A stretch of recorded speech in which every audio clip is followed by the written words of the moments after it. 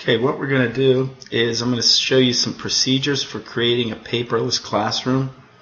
There is a script that you can use for Excel called G-Class. It'll create your folders for you. But I think if you do it manually, you'll even understand Google uh, Apps for Education and, and how uh, Google Docs can really help you facilitate and make your classroom more efficient.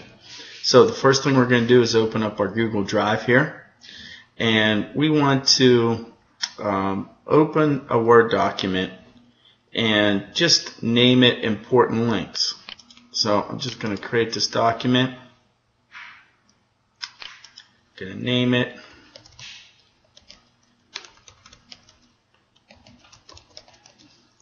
Important links. And there it is right there, important link I called it.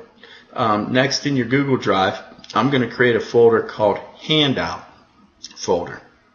So I'm going to create a folder called handout.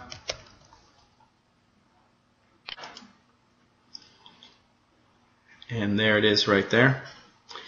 And um, what I have here is you might want to name it because over the years you might have different folders. So if you want to, you can actually name that, or we could call it, probably a good thing would be this spring would be 2000 14, 2015. Uh, I just used my last name here, McGachy handout folder.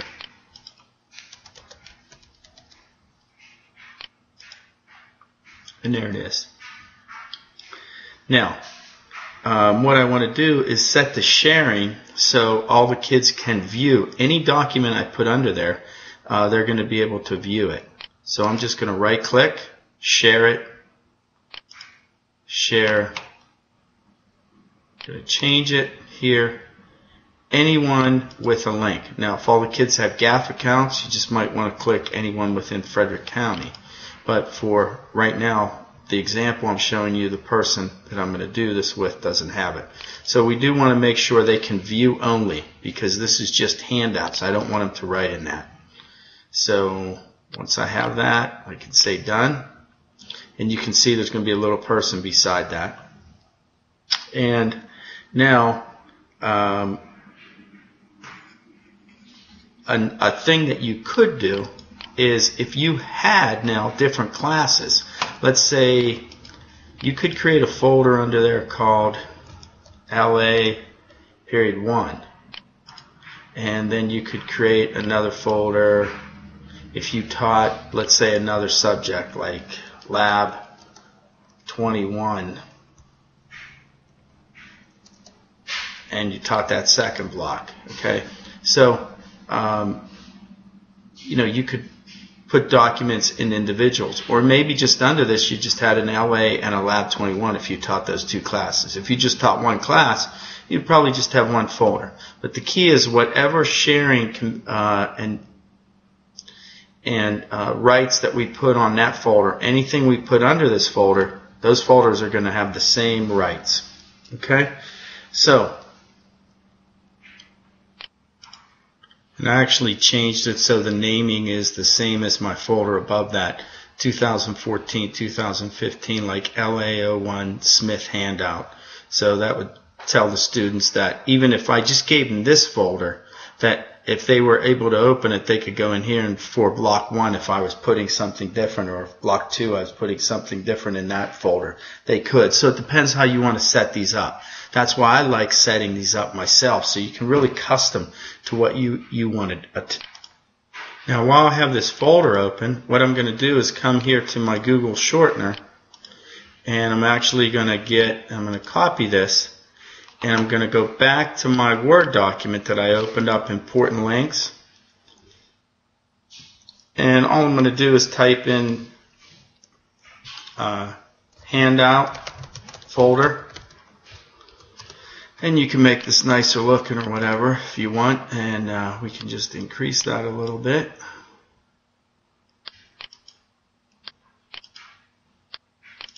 Make it bold. And so as soon as I share this link with any students, they're going to have access to that handout folder. And that's what I want to do. Now then I want to go back to my top of my drive here and I want to create another folder called 2014-2015 and I want to call it turn-in folder. So here I have my handout folder and now I have my turn-in folder. Now what I want to do is I want to provide, um, I want to create, have my students create folders that I'm going to be able to go in and look at their work here. So this is the step where you really need to go into the computer lab and have your kids do this. Now, what I'm going to do is I have another Google account open here, and I'm going to show you what a student would do. So right now, once you have your folders made and you have your link made, um, you're going to you'll then take the kids to the computer lab or just get them to log on to a computer and they're going to create a folder that they are going to share with you and put in uh, your shared document shared with you and we're going to drag it to that turn-in folder and I'll show you how that's going to work right now. So what I'm going to do is right now I'm going to switch user. We're going to assume that FCPS CTE is a, a new user of ours, a new kid. They've never even used Google accounts. They've just logged in for the first time. And what I'm going to have them do is create a folder and they're going to call it 2014, 2015,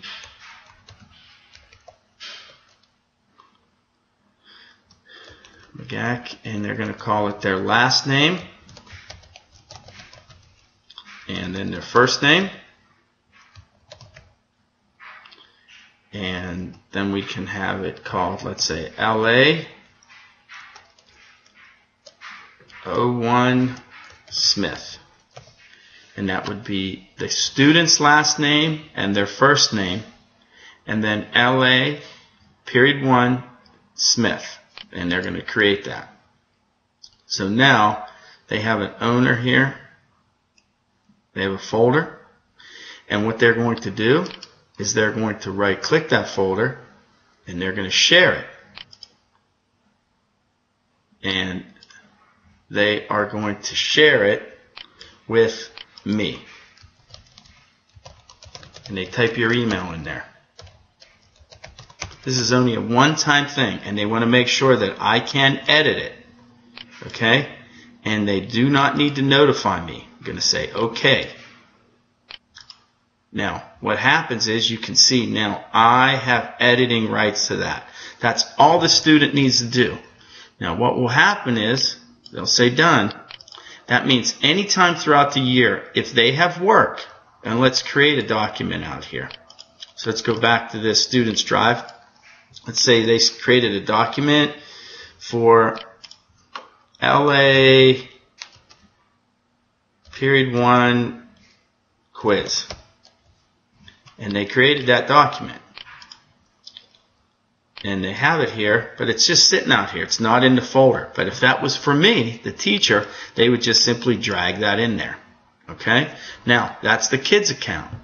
Now, once I have all the kids create their folders, which took about two minutes, three minutes to create their folders, if they do it right, now you're going to then go back and log into yours. So I'm back in here to mine. Now their folder doesn't show up here. It shows up shared with me.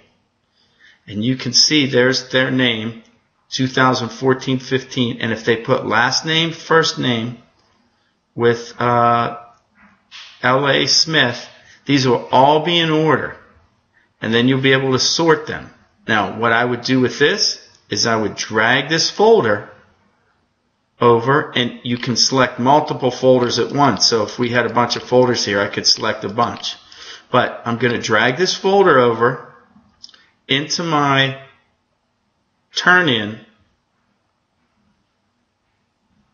folder and I'm just going to click it right there and there's the turn in folder. So anytime I wanted then to view this kid's work, all I would have to do is click on it and his quiz is going to be in there. And so remember, the student made this and anything they drag in their folder I'll be able to see, open up, edit, and comment. Now, just as if you wanted to, you create, you could create folders in here. So I might just have my LA period one in here. So underneath my turn in folders, right now I have my kids, but if you want to organize it by your class, then you could. You could just, under this document, create a folder and call it LA period one, and the kids would be listed that way, and you could just drag them in there. And then every day when you came in, if you wanted to see what a kid came in, you would just pick LA period one and your all your kids would be listed in there who was in period one. You would only have to do this one time at the beginning of the year.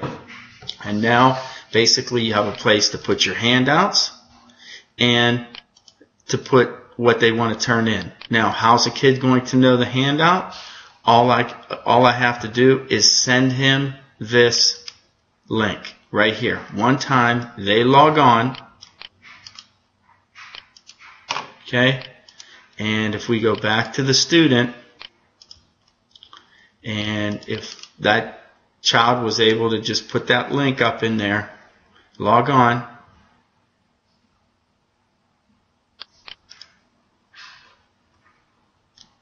and you can see that student is now at your folder okay? Because now basically you've shared that drive with him. Now remember, he's not going to be able to edit anything in here because this is your this is your folder that you shared your handout folder. If they go back to their drive, this is where they're going to put all their stuff that they're doing for this class. So, I'll go back to my drive one last time hopefully you can now see and basically I've just followed along the sheet the, the same sheet that I'll put in here for handouts. Um, but now you've created two folders one handout one turn-in folder. Um, and one is shared the other one is not shared. You notice we didn't share this with anybody. We're not going to share it. The only thing that's shared the people in here the students are sharing it with you do not share this folder because you don't want other students to see it. The only thing a student's going to be able to see is their own folder, but you're going to be able to see them all. So you have security, you have ease, and you know you can really have a paperless classroom. And I hope that this helps you out with uh, having a more efficient classroom. Good luck.